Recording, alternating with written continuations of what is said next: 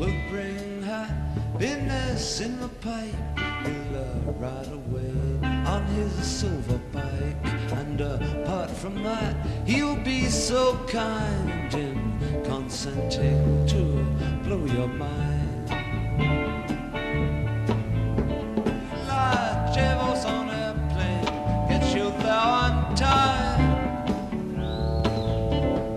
Fly,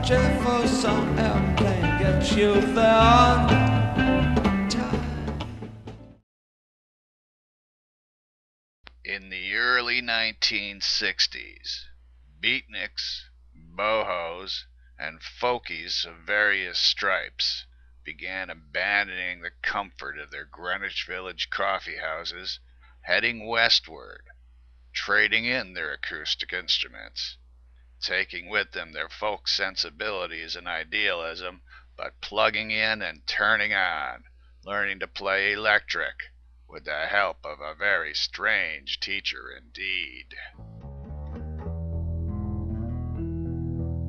There were very few electric bass guitar players. It was a self-discovery kind of situation. Author Ken Kesey had taken the hallucinogenic drug LSD out of the realm of intellectuals, popularizing its use in a series of private parties he called acid tests, with his house band, their charismatic leader Jerry Garcia, and the band's sound man, August Owsley Stanley III, the San Francisco Bay Area's biggest supplier of the drug, with a lifetime production of some 5 million doses. A young singer named Marty Balin decided he wanted to go electric. So I wanted to play with electric guitars and drums, and um, every time I mentioned it in these clubs, you know, I played in, the um, guys would say, "Well, you know, we wouldn't have you, you know, not with drums and electricity. This is folk club, you know."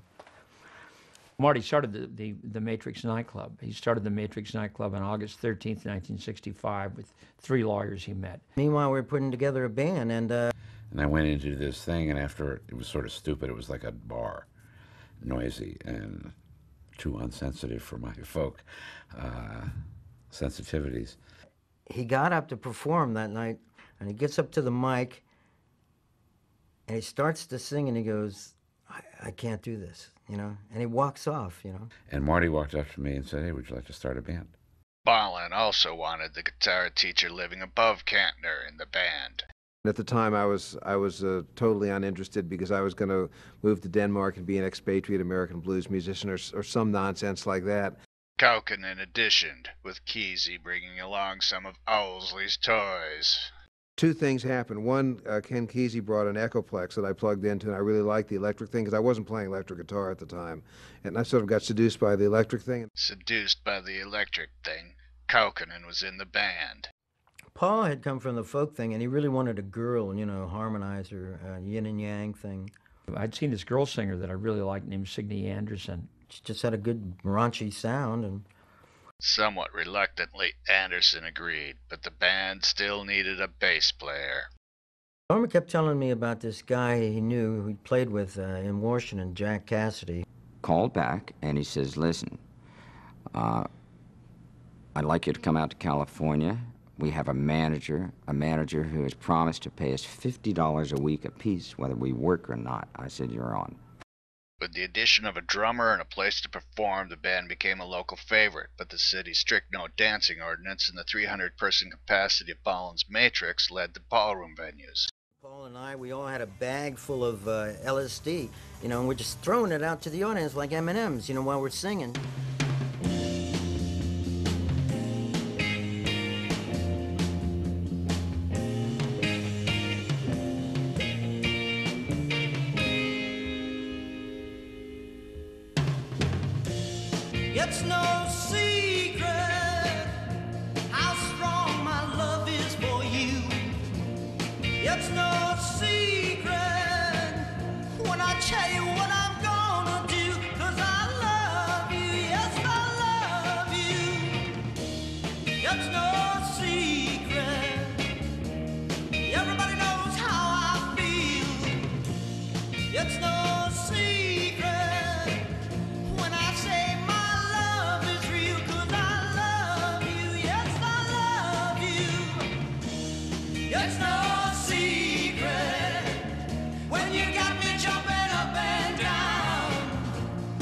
It's no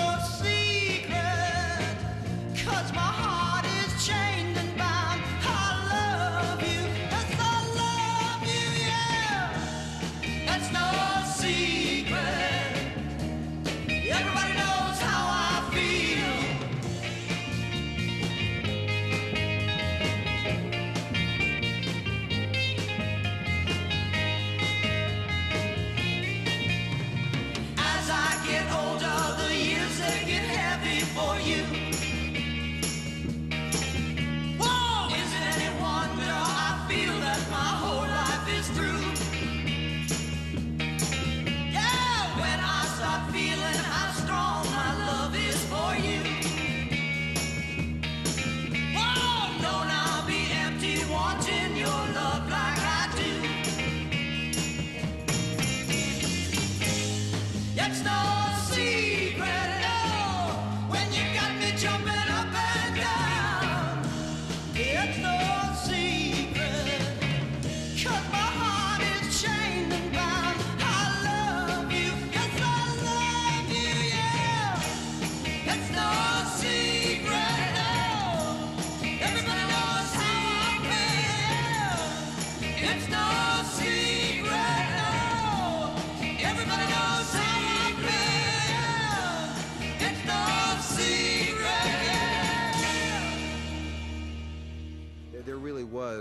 I believe, a spiritual quest going on at the time uh, that most people believed in.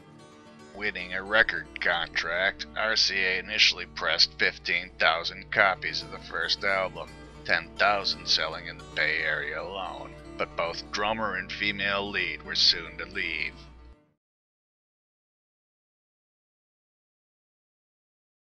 I like shock value. Doing something that people don't expect is always an interesting thing for me. Grace has always been her own mistress, and she'd, you know, you'd see her in a, in a nun costume or she'd be blackface. I mean, the answer is I don't know what it is, but you just never knew what she was going to do. A tea party is planned for the alumni of Tricia Nixon's alma mater, Finch College, and one of the graduates invited is rock star Grace Slick. And I called up Abbie Hoffman, asked him if he wanted to go to a tea at the White House. and we decided um, probably Nixon needed uh, about 600 micrograms. Grace Slick had migrated to the Bay Area from her wealthy socialite home, drawn to the emerging scene and singing in a band with her husband and brother-in-law. Unbeknownst to Balin and Company, Slick wanted into what the Jefferson Airplane had, and when Casady was dispatched one afternoon to convince her to join, he returned later that evening with a new female lead vocalist who would soon prove her worth. She just brought a strength, a really commanding strength and presence and focus.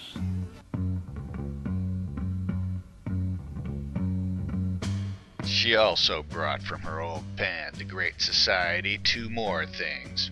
Adding to the airplane's sophomore effort, Surrealistic Pillow, the soon to be chart topping composition Somebody to Love, penned by her brother in law, and her own work that would become the Jefferson Airplane's signature tune, White Rabbit. One pill makes you larger, and one pill makes you small. And uh, they were performed differently in the sense that uh, the players, God bless them, in uh, Great Society were not as good as Airplane. They invited us, the airplane, to play the Monterey Jazz Festival.